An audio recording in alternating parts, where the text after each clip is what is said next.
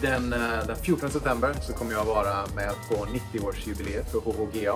Jag ser väldigt mycket fram emot det och så kommer vi att ha er där. Då ska vi prata om eh, future medicine. Och på gränsen. Och skulle ni kunna eh, printa ut en, eh, en version av en handelsalumn? Kanske Chalmers.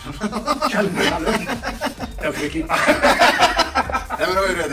Början så blir printen sådär. Ja. Så börjar man Den, den var det.